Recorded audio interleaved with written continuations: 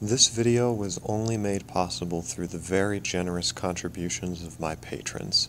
Thank you.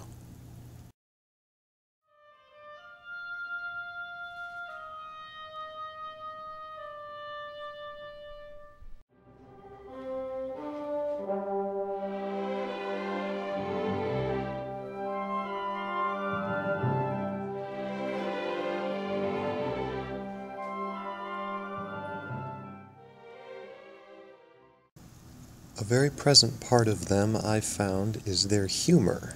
They often have a very dry, wry, crackling sense of humor, and if I may wax poetic, it's rather like autumn leaves under the feet, and especially when speaking with strangers, one can hear it in the background of much of what they say, even when they are being quite serious.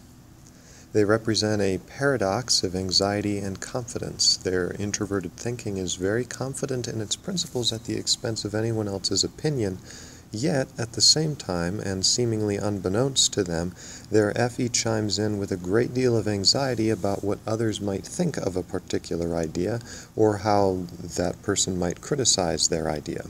They can't seem to decide whether they're afraid of people or not. They are at once indifferent to what others think of how they dress, their jokes, their demeanor, their eccentricities, etc. Yet, at unexpected times, they become quite concerned about how they come off to other people.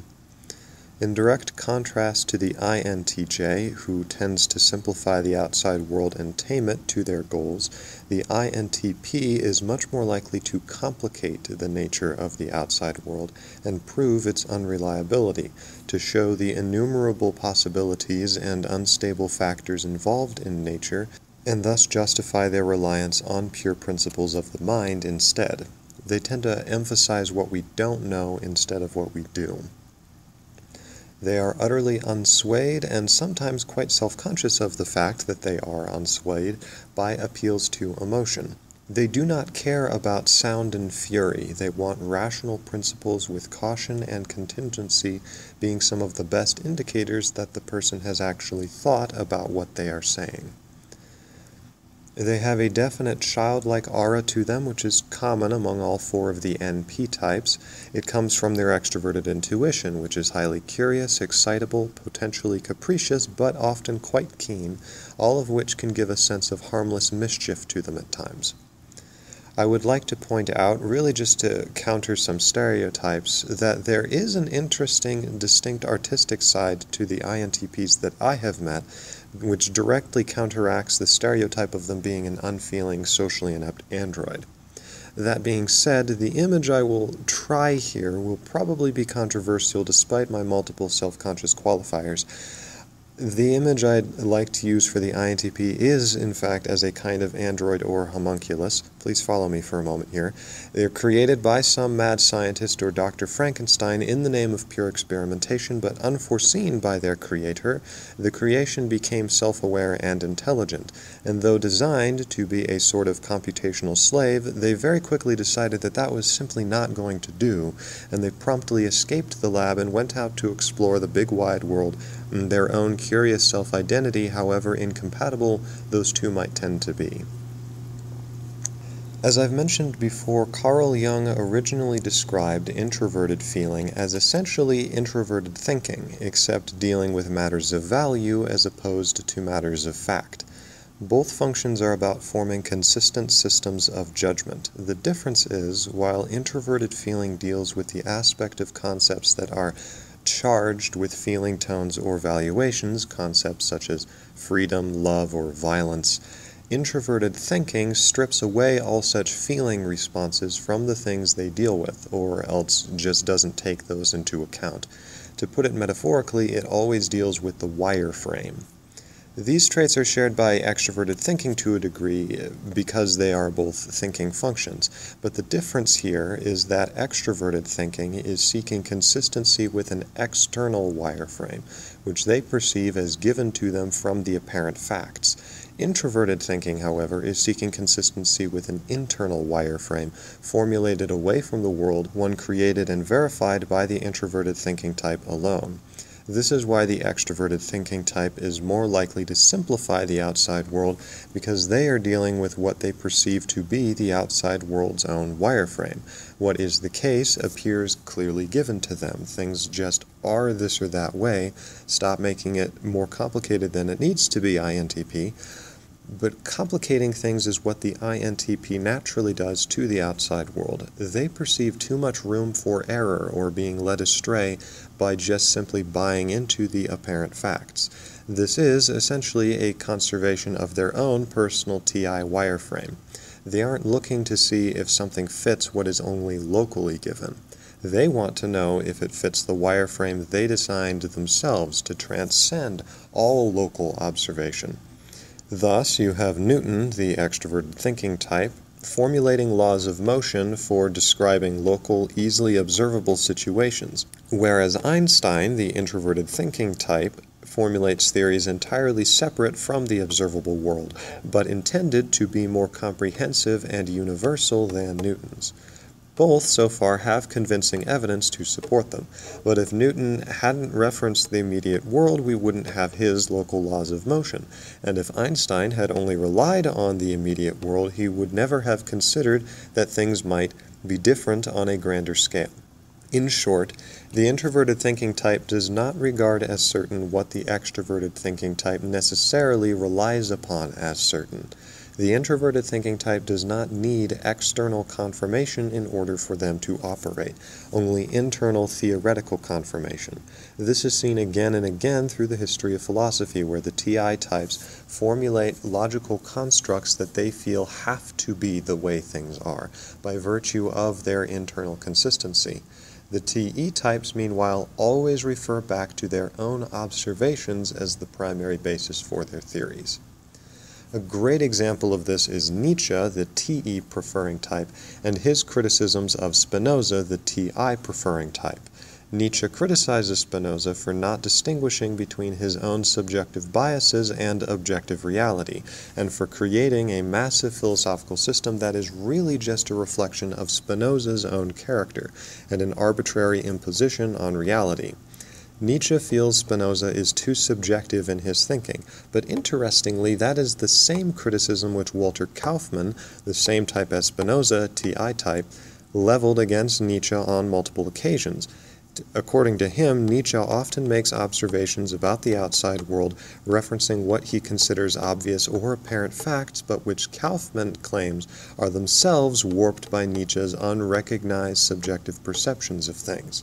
Another example of this is an argument I had with my ENTJ philosophy teacher about the differences is going to get controversial here, but between biological men and biological women. I wanted to simplify, at the time, I wanted to simplify the issue by only referencing the individual's capacities in reproduction, because for me, all other claimed differences in traits, for the purpose of the discussion, were highly subjective observations and only true on very local scales, yet always touted as universally true. But my teacher would not accept my distinction because it so blatantly ignored all the observations he himself or trusted others had made over the years about the differences between the two, and these for him were the only possible basis for an objective argument. For him, my logical distinction seemed entirely local to my own person, whereas he was at least referencing what other persons had to say. Ah. In summary, the TI type retreats from what seems apparent in order to really objectively investigate things on the terms of pure reason. The TE type retreats from such detachment and always references what is really objectively happening. Both are striving to be objective in the conventional sense of the word, but they do it in mutually disruptive ways. This leads into another very important part of introverted thinking and by extension the INTP is their individualism. In this way they are strikingly similar to the INFP except the principles they defend have no feeling tone to them, only the bare consistency. But the idea is that they find local observation, common knowledge, and apparent facts to be ultimately negligible in favor of indisputable personally discovered laws. If something is true by their TI system, then it's true regardless of what the evidence says, what other people say, etc. Now, Obviously, individuals express this in different ways, and individuals make concessions and don't always follow this ideal.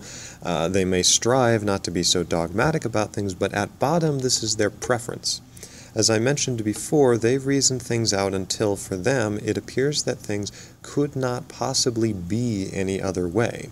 As a result, the TI type is exceptionally stubborn about what they've determined as true, and successful damage to their TI system is extremely distressing for them. The world gets a little turned upside down.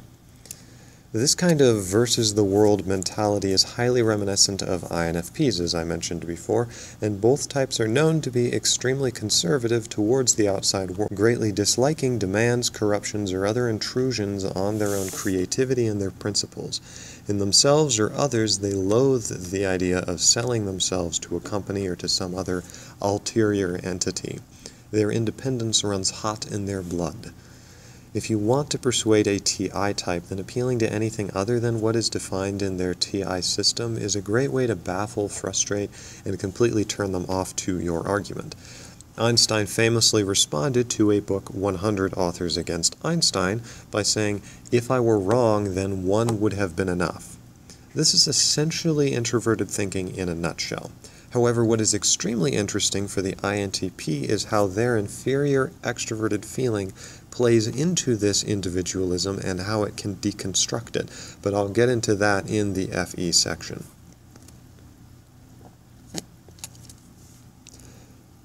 This is precisely where we may begin to distinguish the INTP from the ISTP because the two tend to be confused and by extension, I swear, learn quite a bit more about just the INTP alone. In a word, the distinction is ISTP depth versus INTP breadth. The reason for this lies in the differences between the SENI axis of the ISTP and the NESI axis of the INTP. The former is directly focused on observing reality and drawing interpretative conclusions from that data. This makes the ISTP a very keen and shrewd observer of, of direct events. The INTP, on the other hand, through their NESI axis, looks at the outside world more indirectly, at its possible states and forms, which then contribute to an internal composite image of reality. As a result, they give off a very different feeling than the keen ISTP, more that of a studious scholar or an architect. They are meticulous, long standing, careful, and doubtful, whereas the ISTP is sharp, quick, and confident.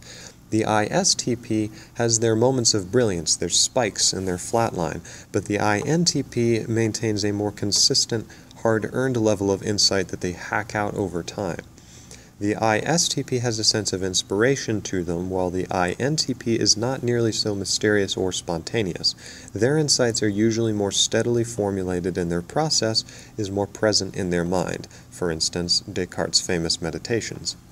This is why ISTPs are much more to the point in their communication. SENI is about getting to the bottom line. INTPs, on the other hand, are more willing or likely to show their process of thought, their wanderings from here to there as they trace their way around all the possibilities they think need to be considered. This, in the end, is meant to show a panoramic view of the subject instead of just one highly detailed, insightful angle.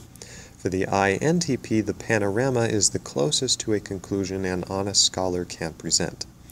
Furthermore, because of their awareness of many possibilities, the INTP is usually more high strung than the ISTP ever is, or at least as the ISTP appears, because ISTPs are just as subject to stress and anxiety, but that's not how they usually come off to other people, whereas the INTP can appear more jittery and prone to worry. The ISTP will go with the flow presented by extroverted sensation, but the INTP doesn't have one reality to choose from, but many varying, equally interesting pathways.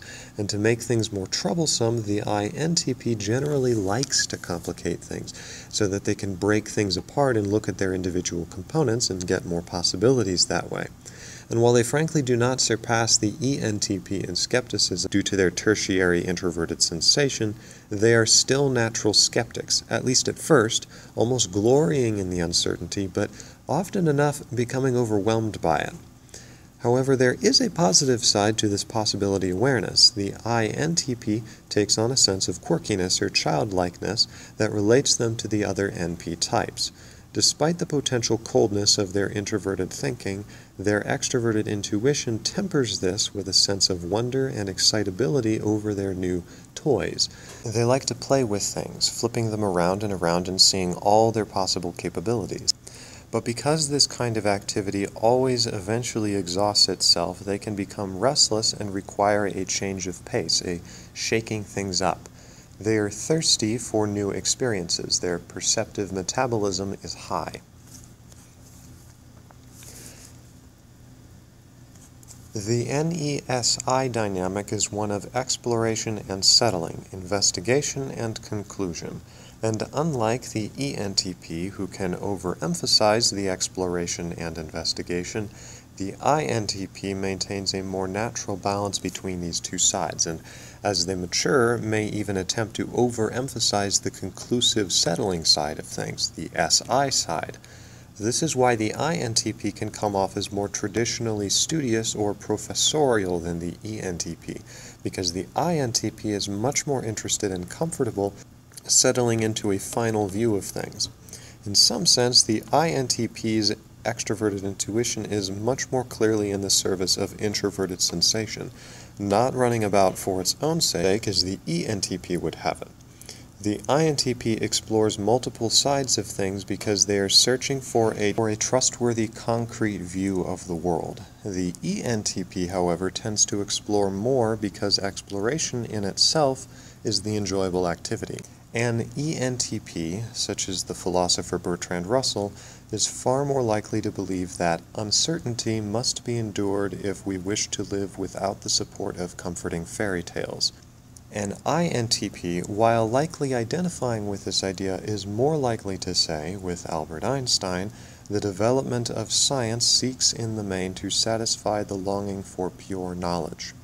The difference, then, is the ENTP is not really trying to find anything. Having a destination is simply the excuse for making a journey. The INTP, however, most certainly is trying to find something, as much as they may say they are not. It is their disposition to seek an internally formulated, perfectly consistent understanding of things, and they do not feel limited, blinded, or oppressed by a proven theory, granted it passes their strict qualifications. They want to understand things. They want the blueprints in front of them so that they can reference them as they move about the world. Blueprints written in the language of TI with illustrations and examples provided by SI.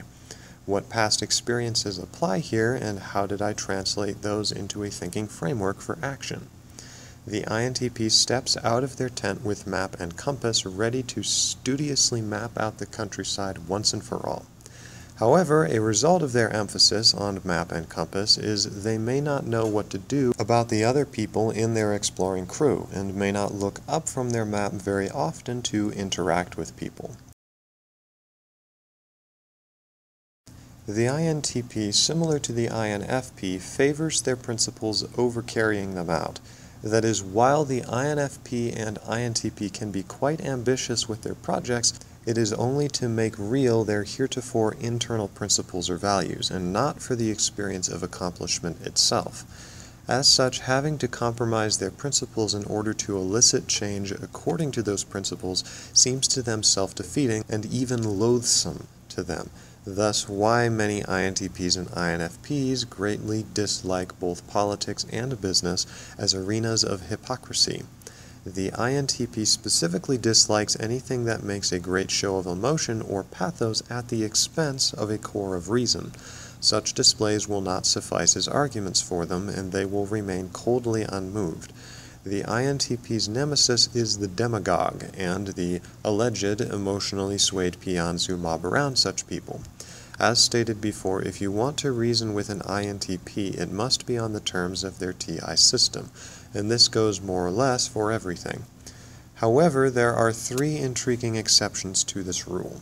For one, the INTP often gets a big kick out of overly dramatic parody and satire. Two, if they are not laughing at it, then it may be their attempt to explore the extroverted feeling side of things, often on the spur of the moment and rather unexpectedly. They may go to a ball game just to experience what it's like to be in a crowd, or go to a popular movie and cheer at all the expected parts just for the fun of it, or get a kick out of a harmless sugar pop music, etc. Three, however, is more important, the most important, I'd say. And finally, it ties back into my comments in the opening of this video about the INTP. While they will remain unswayed by pathos, it often goes a little deeper than that. They are often rather uncomfortable with pathos. Cold though they may seem, they are not utterly reserved and introverted in their feelings as the INTJ is. They do still have a sense of concern for the feeling atmosphere, the FE atmosphere, and that they retain an embarrassed self consciousness about their own struggles with it and genuinely want to master that side of themselves as well. What results from this is a sort of deconstructive undercurrent to their TI resolution, for while they will hold tightly to the determined truth, when it comes to expressing that truth before a respected person, or heaven forbid a crowd of people, the INTP can become quite unconfident, self conscious, self doubting, uncomfortable, and even needy, suddenly quite concerned about how they come off to other people. Dear viewer, thank you so much for listening. I hope you enjoyed this video and found it useful. If you would like to view more content like this in the future, please check out my Patreon page, linked here. Donations make it possible for me to continue producing content regularly and with greater care, and they also come with rewards and bonuses listed on the page. Either way, it really does mean the world to me. Thank you so much for watching, and I wish you the best.